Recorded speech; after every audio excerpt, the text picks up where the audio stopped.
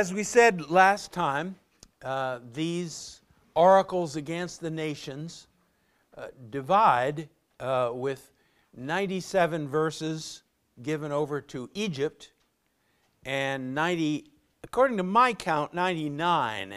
Now, Daniel Block says it's 97 for both, but uh, he must be counting differently than I. And it may be, I didn't look at the Hebrew, it may be that in the Hebrew they combined some verses or something. But so in this first section, we have, as we saw last time, the um, a series of short oracles against, um,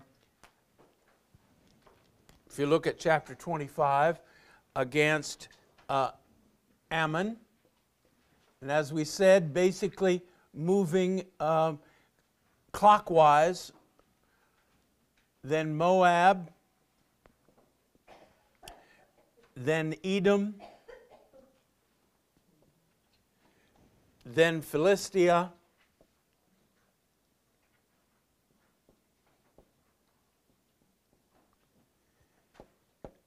then Tyre. And if you look over at the end of chapter 28, that's the one I want. Yes, 28, verse 20.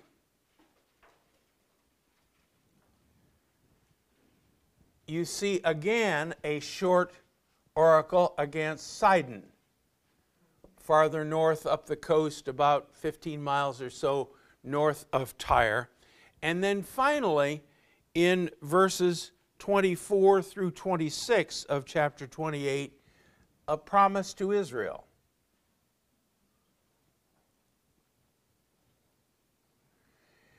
Now, each one of these closes with the line, then they will know.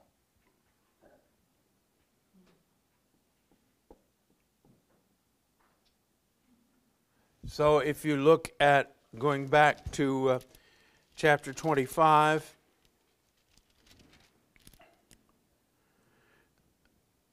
verse 7 I will destroy you, and you will know I am the Lord. Uh, verse 11 Moab, they will know I am the Lord. Verse uh, 14 They will know my vengeance, declares the Lord verse 17, Philistia, they will know I am the Lord. And if you look at 26, verse 6, Tyre, they will know I am the Lord. So there's a sense in which what we're looking at in 26, 7 through the end of chapter 28, well, not 28, but uh, not the end, but 28 19.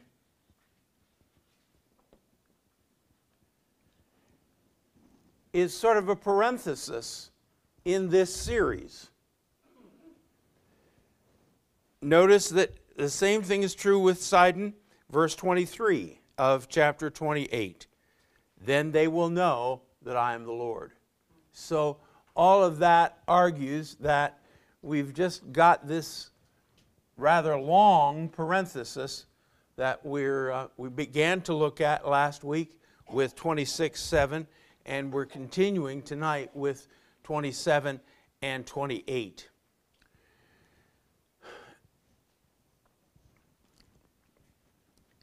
Here we have a series of oracles The first one is addressed, excuse me, 27, yes. So, addressed to Tyre, the city. So that carries us through that entire chapter, 27. Then, chapter 28, 1, addressed to whom? the ruler of Tyre, the king of Tyre, yes. And again in 11 to 19, take up a lament concerning whom? The king of Tyre, 28:11. And then in 28:20 it's Sidon and in 28:24 it's Israel. So that's that's the layout that we have here. So we have an address to Tyre, the city. Whoops, not that way. Mm-hmm.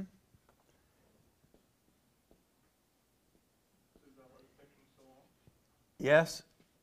And then two of them to the king of Tyre. And we'll uh, want to see how that develops. In my translation, that in the first uh, verse, uh, the second verse of twenty-eight, it said prince. I was wondering if there was a difference there, or is it both to the king? I wondered if it was to the king's son.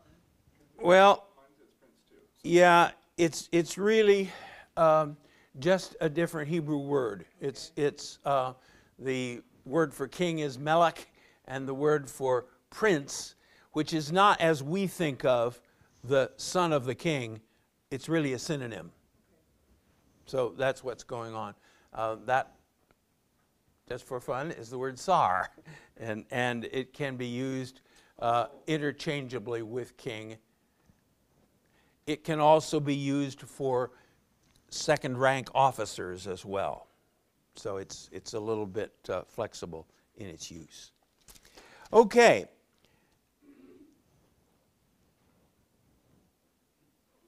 Notice the repeated phrase in 27:3.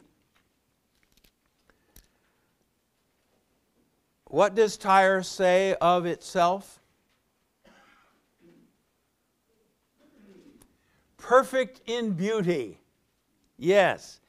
And then over in 28:12. Now the Lord is talking about them. You are the model of perfection, full of wisdom and perfect in beauty. There it is again. Uh, and it is a word that is uh, pretty much unique to Ezekiel, this, the word that's translated perfect. Uh, but it has the idea of totality in every way, in every part. So here it is. Not only does Tyre say of themselves, we're perfect in beauty, but God says of the king of Tyre, you're perfect in beauty. So we wonder there uh, just exactly what the point is that's being made. What do you think?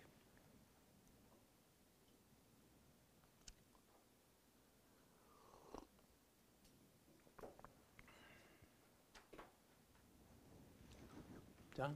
Maybe he's really bringing to light their own self, their own absolute dependence on themselves to do everything for themselves. Okay, okay.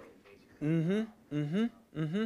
In many ways, uh, this is the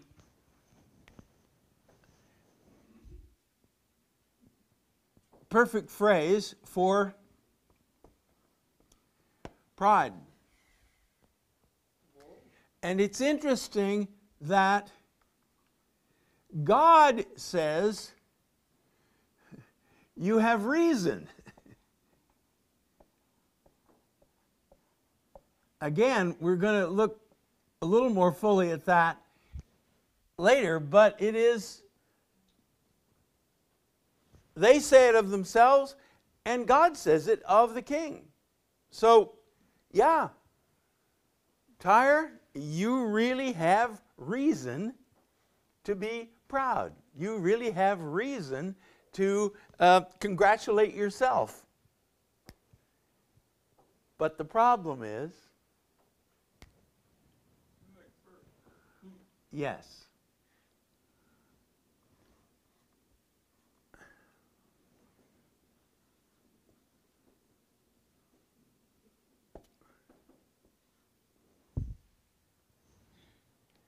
Also interesting that he reminded them that you enhanced, you perfected your beauty, and he lists all the things that he had created, the trees, the wood, Yes, the. Yes, yes, Reminded him that he did create beauty, but they are enhanced by what he made, not they made. yes. There's, there's the issue. Uh, somebody said, well, it's not really pride if you really are better than anybody else.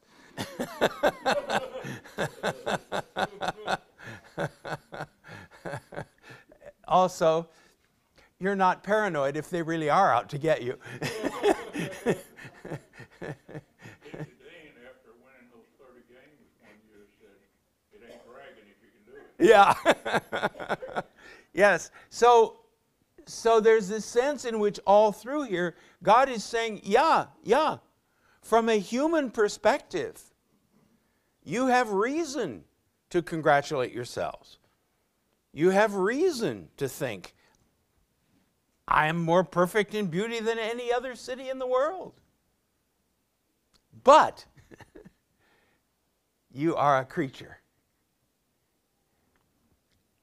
And when you take your perfection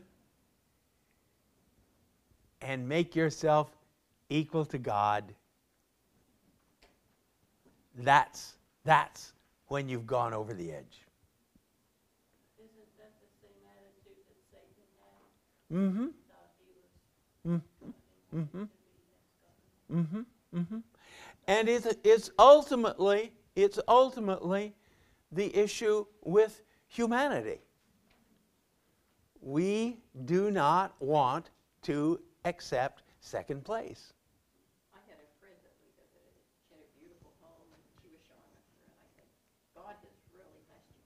She said, I'll have you know, I worked very hard for everything I have. And that is the attitude of a lot of people. They did it. Yeah, yeah, yeah, yeah, I achieved this. And so the whole issue of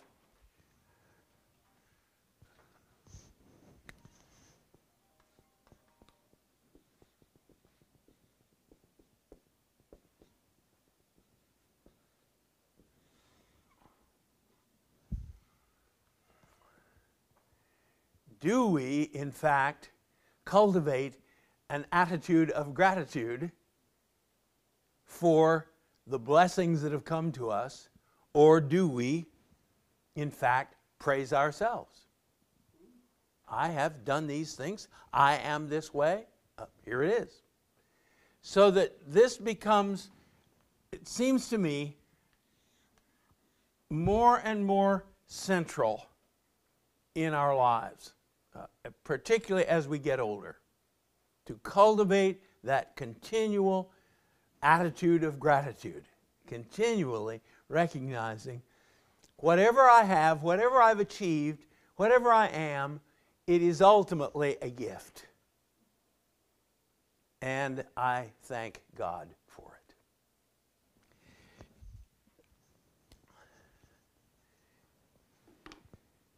Now, in verses 3 through 9, you have this picture of Tyre as what? Chapter 27, verses 3 through 9.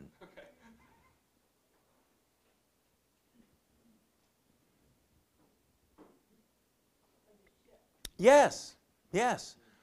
A beautiful ship. Uh, is that appropriate? Yes, yes. Tyre was a seaport. It basically, as we said a bit last time, it looked to the west. Uh, geography is so, so significant in uh, thinking about what happens and who we are. So the the Lebanon mountains are here, and the anti Lebanon mountains are here, and between it is the valley. The Arabic word is Bekaa, and that means valley. these mountains are steep. And so the coastline of Lebanon is sawtoothed like that. Travel to the east is difficult. Damascus is over here, and Damascus, throughout its whole history, has lusted to control Lebanon. And Lebanon has, by and large, always maintained its independence from Syria because of geography. So, these cities, Tyre here, Sidon up here, they do not tend to look eastward, but they look westward. And, as you probably remember, Carthage, that almost equaled Rome, was a colony of Phoenicia. All the way over on the other side of the Mediterranean. And in fact, the Phoenicians then did, not simply Carthage, but they had many other colonies, especially on the African side. The uh, Romans were working on the northern side, but there it is. It's also, um, some people contest it, but it seems that it's a fact. In 600 BC, so here we're talking about the 580s in 600 BC, the Pharaoh commissioned a Phoenician fleet to circumnavigate Africa. So, again, these people are sailors. they are competent sailors. And so the picture here is uh, entirely appropriate. Your domain was on the high seas. Your builders brought your beauty to perfection, and so forth. So the, uh, the wood that's used, the uh, linen that was their sails, their awnings, their oarsmen, everyone. Then it's interesting, in verse 10, he shifts his uh, metaphor a little bit and goes back to the city. from Persia on the east to Lydia on the north and Put, which is in the south. So all of these guys, Arvad and Helek are to the west. So all the world, north, south, east, and west, is drawn to you. Then in verses 19, uh, excuse me, 12 through 24, we have the list of their business partners. And uh, if you uh, did look, this again pretty well covers the world.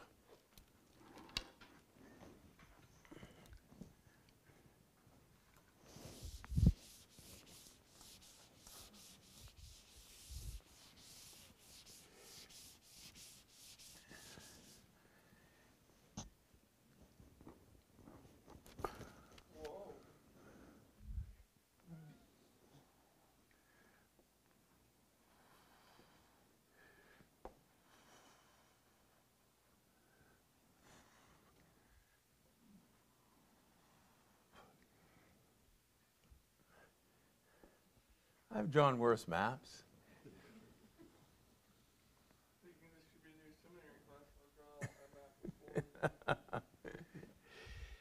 so here's Tyre. Almost certainly, Tarshish was on the coast of Spain. So that's where we start. Tarshish did business with you because of your great wealth of goods They exchanged silver, iron, tin, and lead for your merchandise. And uh, that was there in Spain a uh, source of smelting for all of this. So, from one end of the Mediterranean to the other. Greece, Tubal and Meshech, probably, probably these are the Balkans.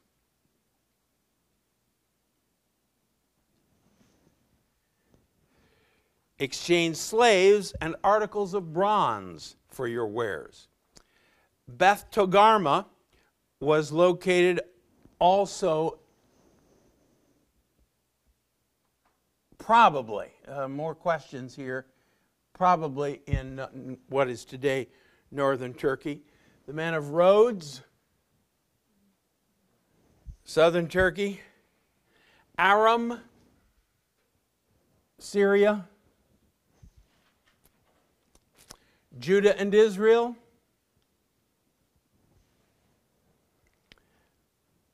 Damascus in particular. The Danites and the Greeks from Uzal. Dedan is also probably over here. Arabia and the princes of Kedar. Sheba and Raamah.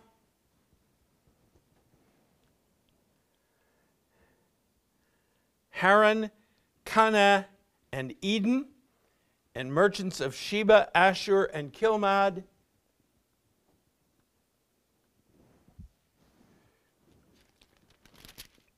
And that's it. Notice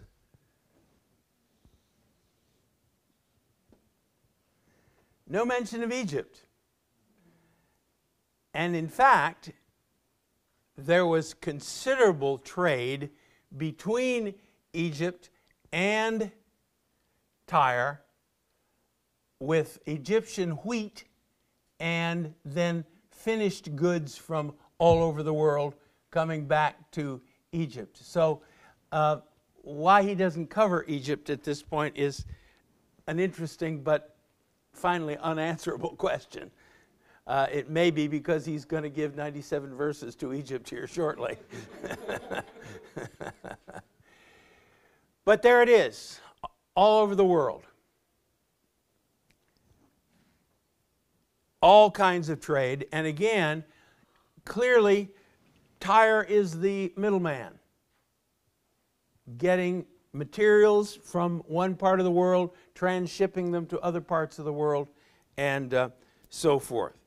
Then we go back to the ship imagery.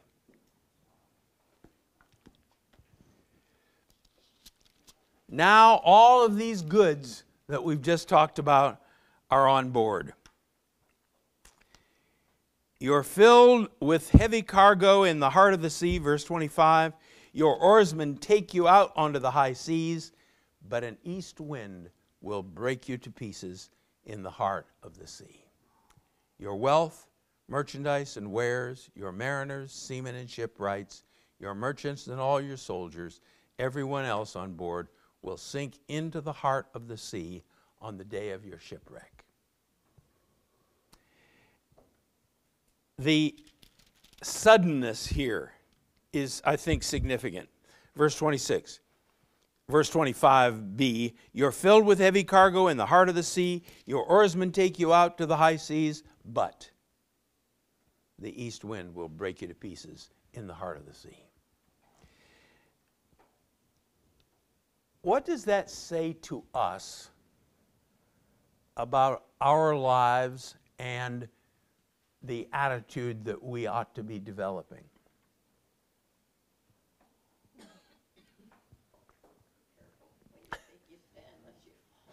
Be careful when you think you stand, lest you fall.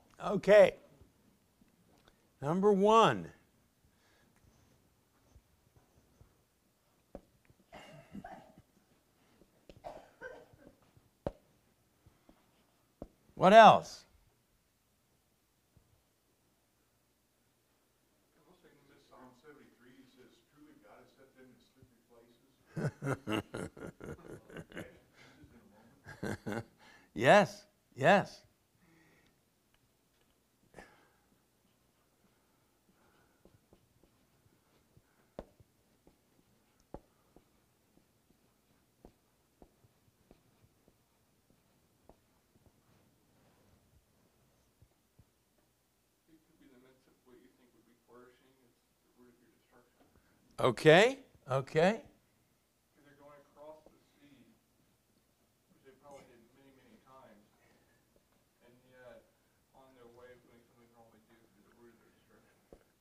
Your flourishing could be the root of destruction.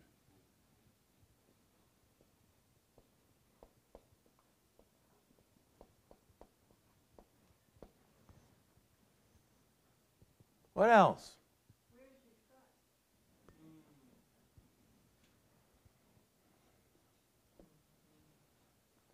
Yes. What are you trusting in?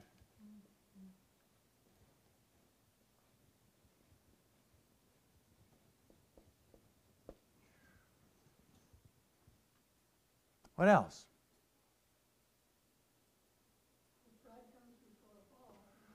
Okay, okay.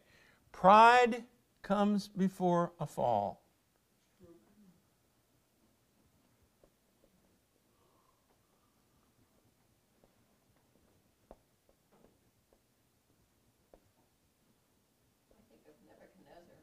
Mm-hmm. Mm-hmm. Mm-hmm. Mm-hmm. Mm-hmm.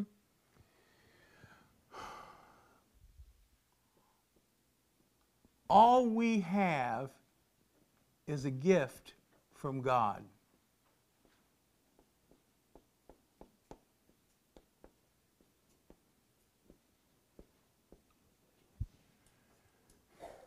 If our possessions and accomplishments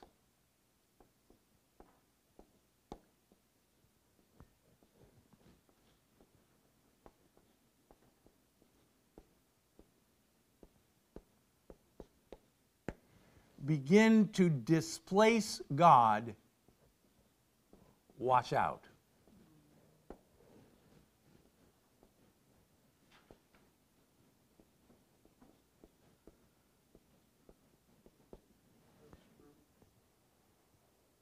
Everything we have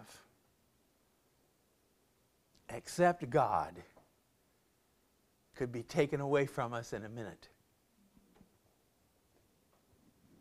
If we get our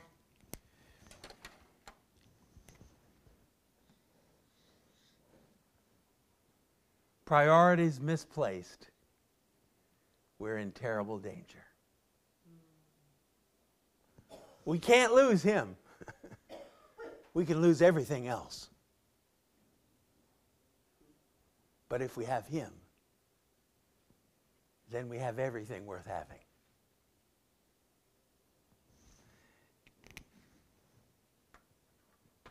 I think all of us have had those experiences where a second has changed everything.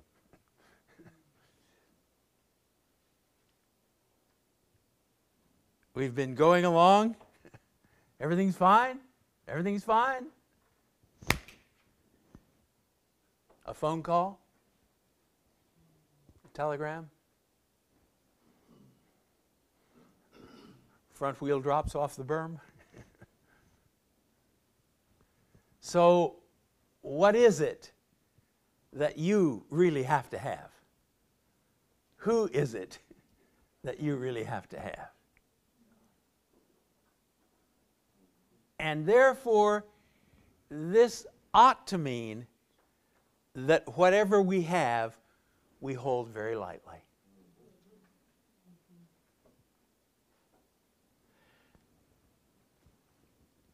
I, we've talked about it before. Augustine's line idolatry is the worship of what should be used and the use of what should be worshiped. So, there it is. There it is.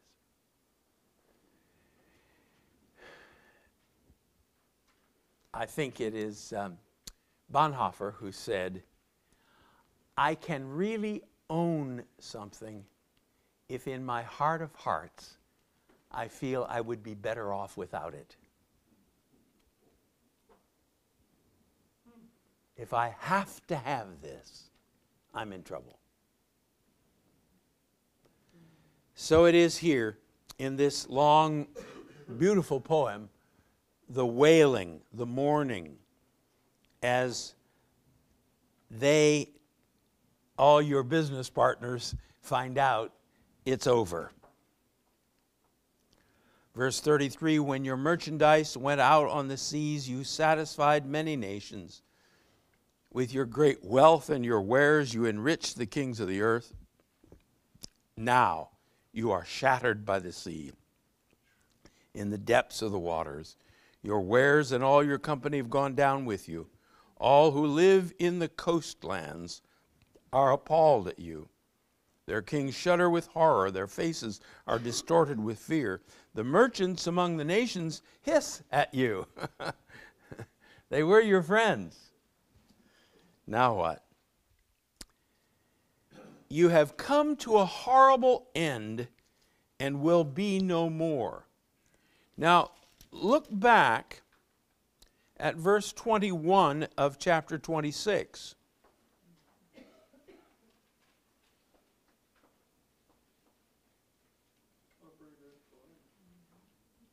It's almost the same. What's the difference?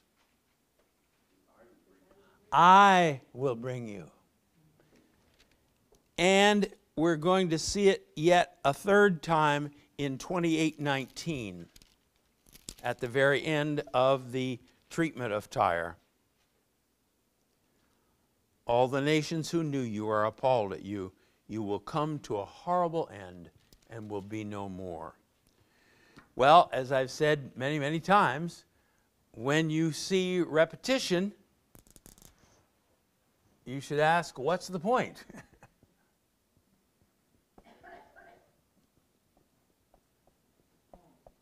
Why say that three times?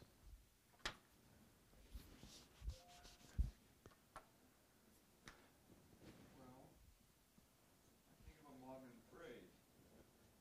It's, it's too big to fail.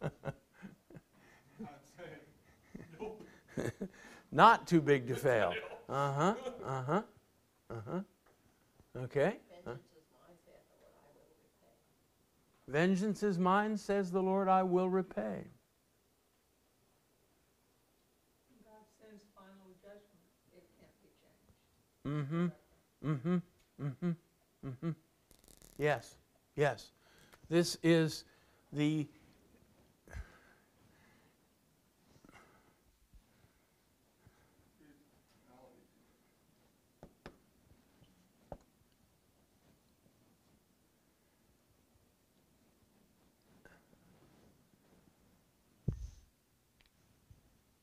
just for the fun of it.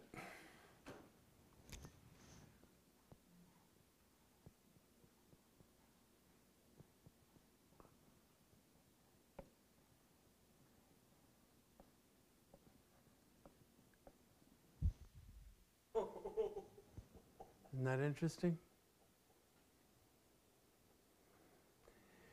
That's not the final word. This is the final word.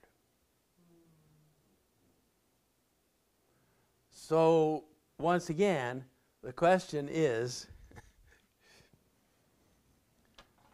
upon whom am I depending?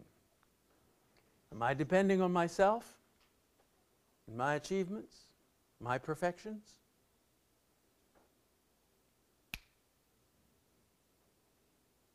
A horrible end.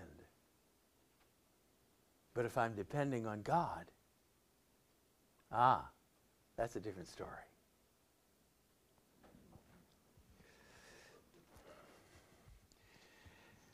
So we come now to the king of Tyre.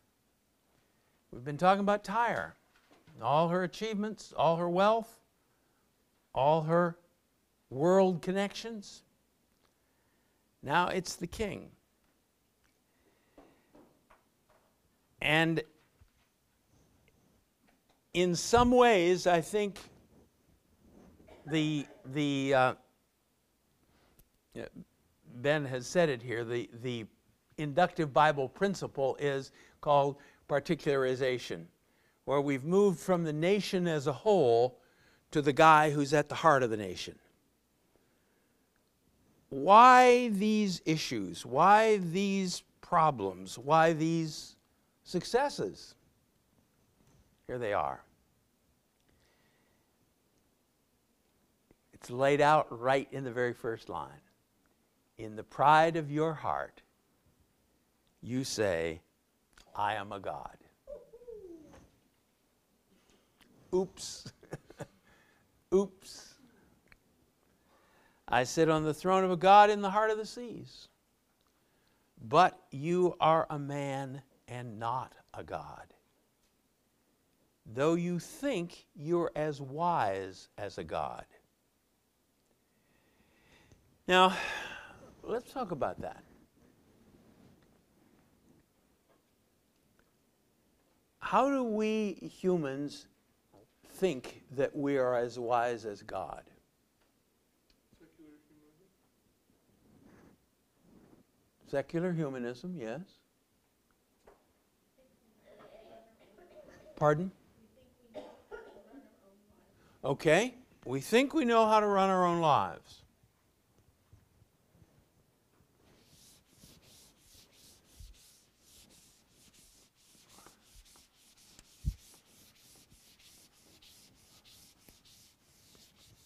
What else?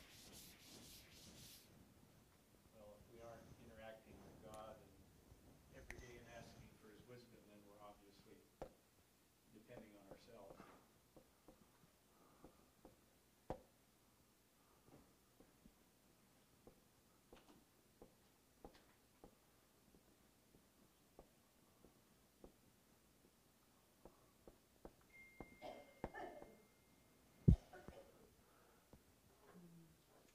How do how does humanity, particular modern 21st century humanity, think that we are as wise as God?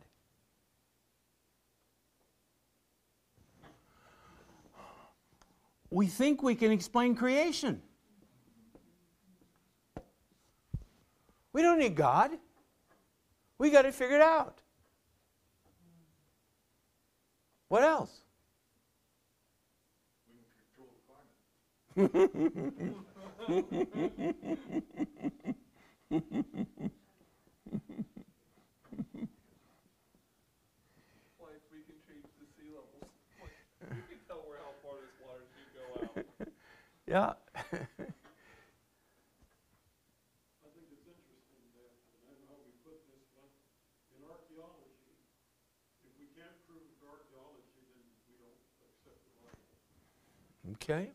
okay, okay.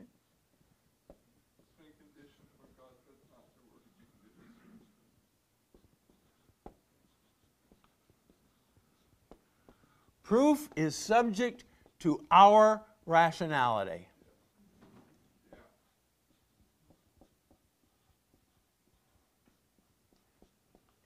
If it can't be explained in a way that suits my logic, it doesn't exist. God-given limits. Okay, okay, okay. We ignore God given limits.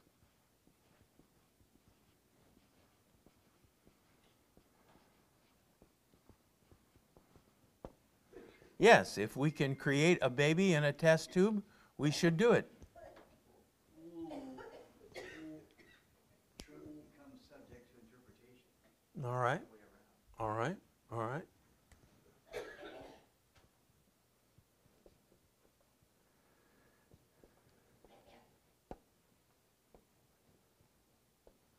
Truth is subject to our interpretation.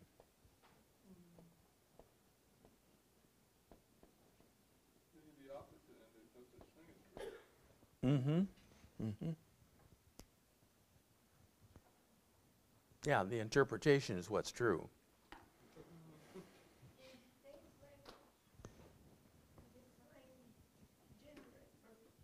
Mm, mm-hmm, mm-hmm, mm-hmm.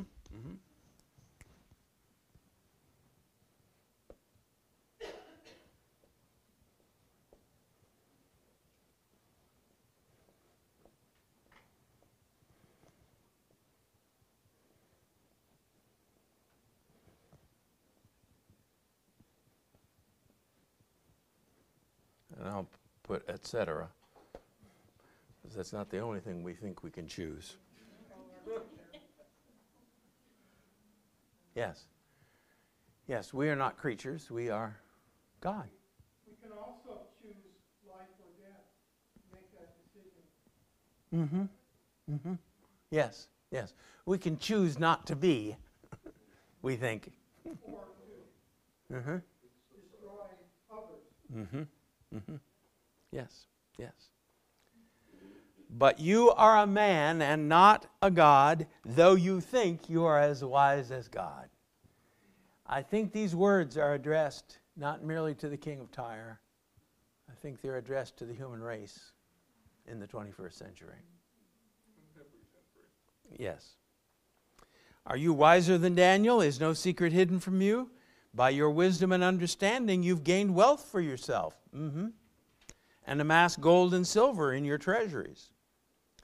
By your great skill in trading, you've increased your wealth. Uh, every one of us in this room is wealthier than kings in the Middle Ages. Every one of us. We all have hundreds of slaves at our bidding. I mean, several of them right now are producing the lights in this room. Several of them are carrying water for us. By your great skill in trading, you have increased your wealth, and because of your wealth, your heart has grown proud. Therefore, this is what the sovereign Lord says. And I think right through this book, that sort of is the punchline. you think, you think, you think, you think. Therefore, this is what the Lord Yahweh says. Because you think you are wise, as wise as a God, I'm going to bring foreigners against you, the most ruthless of nations. They'll draw their swords against your beauty and wisdom, pierce your shining splendor, bring you down to the pit, and you will die a violent death in the heart of the seas. Will you then say, I am a God in the presence of those who kill you? You will be but a man. I have spoken, declares the sovereign Lord. Yes, yes. As I've said several times, there are two steps to enlightenment. Number one, there is a God. Number two, he's not you. That's what he's saying. That's what he's saying. So he says, Take up a lament concerning the king of Tyre and say to them, This is what the sovereign Lord says. Now, this next passage has consumed hundreds of gallons of ink and many, many trees. uh, some have said, well, this is really talking about Satan. I don't think so. I think it's talking about, as same as Isaiah 14, it's talking about creaturely pride. And Satan, of course, is an example of creaturely pride, but so are all the rest of us. So he talks about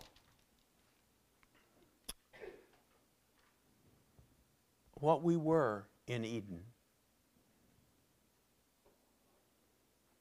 We were robed in precious jewels.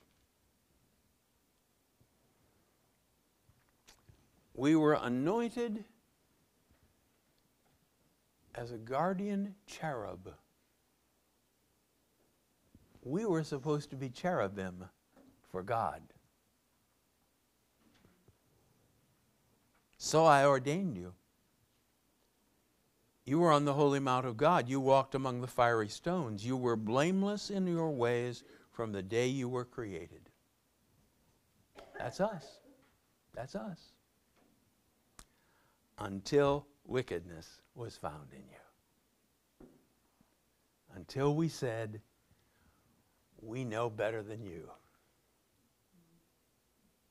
And when you think about that amazing statement, such a simple, simple statement, and yet so bottomlessly profound, if you do this,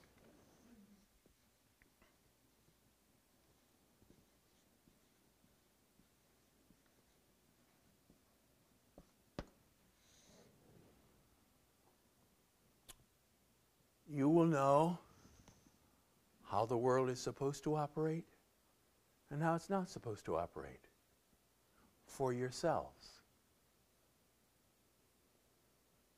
I will decide from here on what's good for me, and I will decide from here on what's bad for me.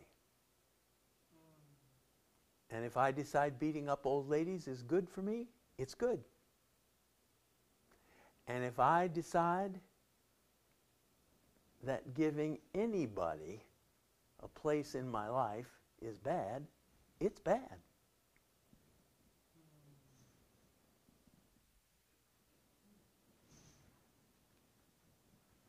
Mel, you were going to say something. I think it is. I think it is. Yes, yes, yes. So that the king of Tyre is representative of all of us. So that this isn't merely, it isn't merely an attack on Tyre and Tyre's king. It's an attack on all of us.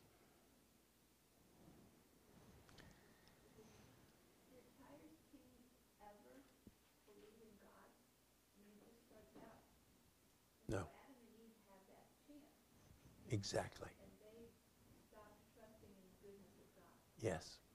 Yes.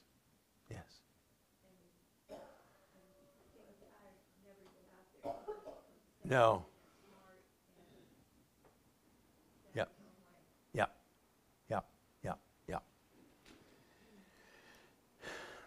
Through your widespread trade, you were filled with violence and you sinned. So I drove you in disgrace from the mount of God. I expelled you, O guardian cherub, from among the fiery stones. Your heart became proud on account of your beauty. Here's beauty again. You corrupted your wisdom because of your splendor. So I threw you down to the earth and made a spectacle of you before kings. So there's, there's the picture that the snake whispered, You don't need God. You've got, look how beautiful you are. Look how capable you are. You don't need God.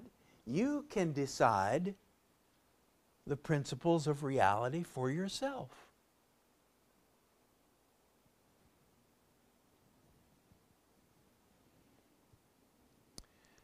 So I made a fire come out from you, and it consumed you. I reduced you to ashes on the ground in the sight of all who were watching. This is the fascinating thing to me about what happens when we exalt ourselves.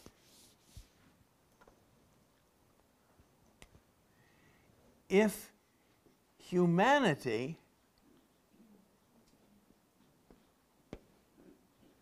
is the apex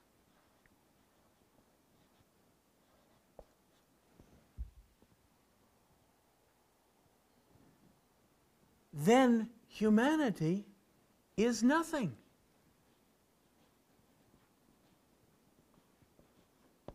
There is no meaning in life because we're all going to die. The average on death is pretty level one per customer.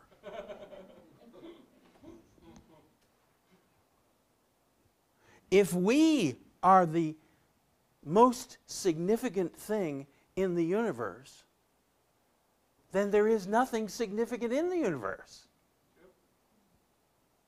This is where European philosophy came in the 20s and the 30s after the First World War. They called it existentialism.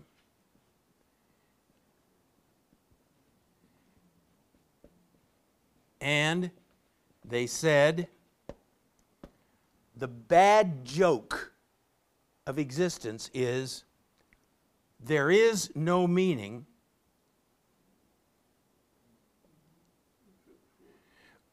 But humans have to have meaning.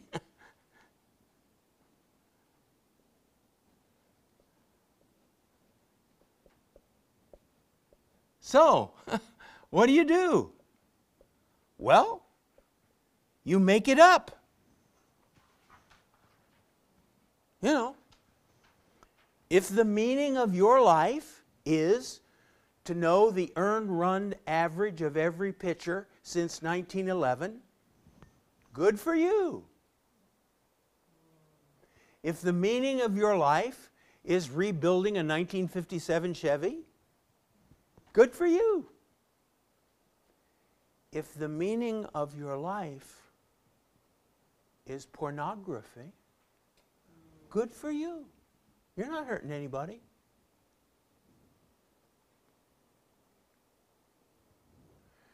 Now, you see, that was created, as I say, in the 20s and the 30s.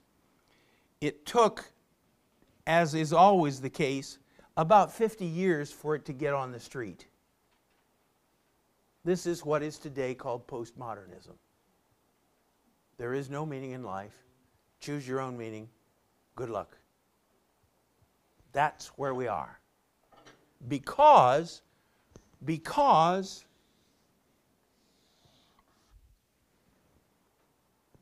nineteenth century Europe said, we're it. A fire has come out of us and is consuming us.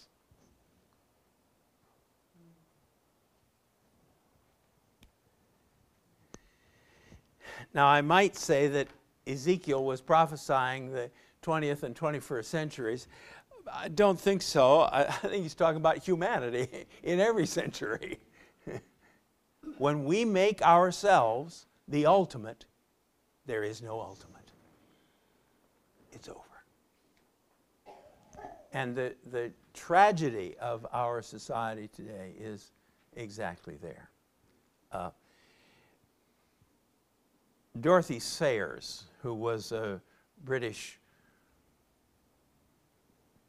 murder mystery writer and playwright and translator of Dante's Inferno, uh, a, a multi talented woman. She wrote something that I came across recently that uh, is very profound. She said, When you decide that you are the center of reality, you're going to discover that the world is hostile to you. And you're going to be condemned to an increasingly angry personality. That's exactly where we are today. People say, Where's all this anger coming from? It's coming from the world's out to get me. Yeah. Yeah. That's bound to make you angry. so there it is. You have come to a horrible end and will be no more. Sidon. I'm against you, O Sidon. I'll gain glory within you. They will know that I'm the Lord when I inflict punishment on her and show myself holy within her. Now, how is God's holiness going to be shown in Sidon?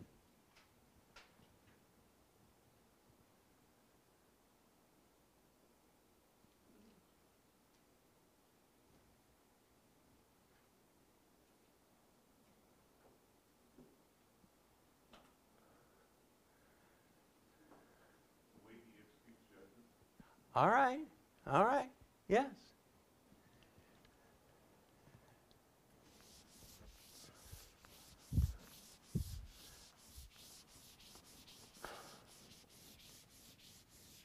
Look down into the promises to Israel that follows. Do you see the same phrase there?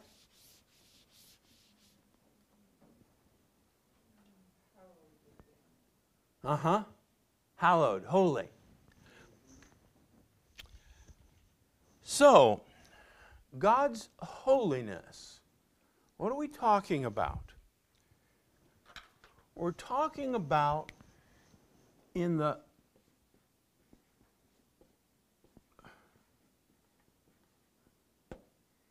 his absolute otherness. There is nothing to compare to the Holy One. Now, you see, for the pagan, the pagan says, well, there are lots of holy ones. They are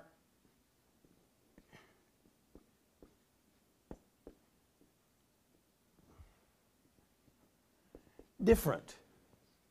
You know, this is a holy place. It's it's kind of eerie. It's it's kind of strange. It's it's it's different from my ordinary experience.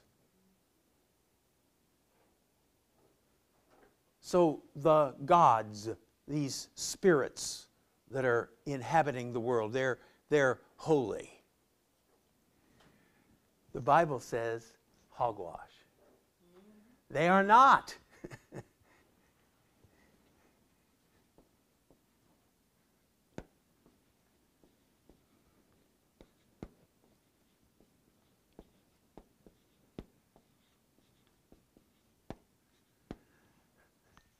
They're not holy.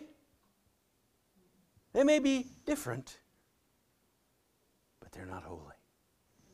There's only one of whom it can be said, He is holy. You want to talk about unique understandings in the Bible? That's right at the top. There's only one being in the entire cosmos who is truly other. That means then power, greatness, terror. I think the reason horror movies have become popular is because we've lost sight of God.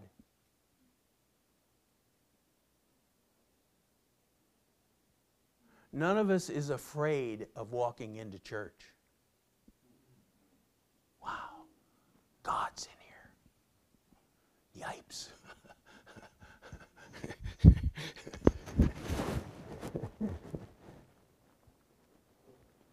We've lost him. We've lost him. God says, as, as someone said, number one, when I, one, fulfill my prediction,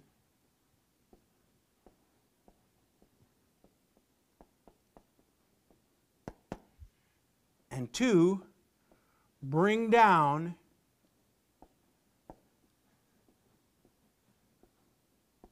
what seemed all powerful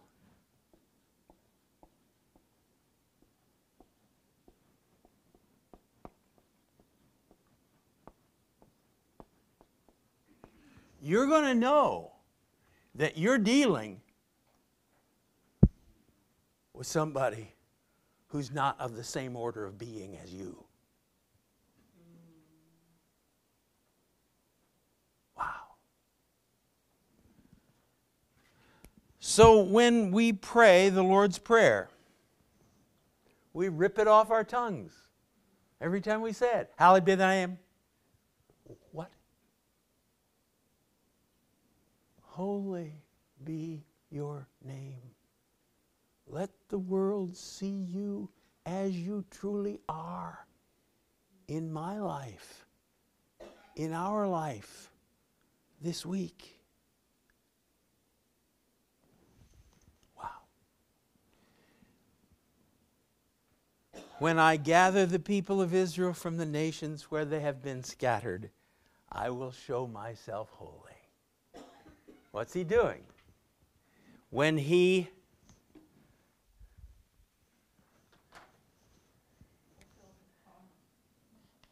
lifts up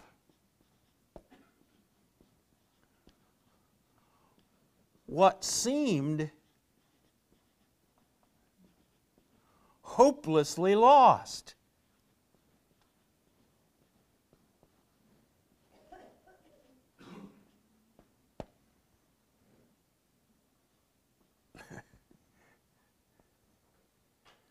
when I bring down what seemed all powerful, you'll know I am the Holy One. And when I bring up the one that seemed hopelessly lost. As I've said to you before, part of the reason the Hebrew people did not believe they could go into exile is because you went into exile, you disappeared. And God said, That's not a problem. That's no big deal. Just because it's never happened before. And I've always loved this in Isaiah I can do a new thing. Because I am not part of the cosmos. The sun can't do a new thing, the moon can't do a new thing, the wind can't do a new thing, the rain can't do a new thing, but I can. Because I'm the Holy One. That idea that there is one being who is absolutely other than this cosmos. That book is the only place that idea has ever originated and taken. Now, people have thought about it. The Egyptians, the Greeks, but it never took. It couldn't. This world is all there is. But these dumb Hebrews, they just said, We don't know. That's just the way it is. God grabbed us, and He wouldn't let go of us. we tried to make Him let go of us, but He wouldn't. He's the one God, He's the Holy One. And the miracle then is if that's true, there's only one holy character. His. And His character is Hesed. And truth. And goodness. And justice and purity. Wow. Wow. And so this crazy guy, Peter, says, You must be holy as he is holy. What? Become absolutely other? no, no. His character. Don't be conformed to the lusts of your past. But, picking up Paul's words, be transformed by the renewing of your minds. Peter said, gird up the loins of your minds. Again, very interesting to me. You want to be holy? You better think straight.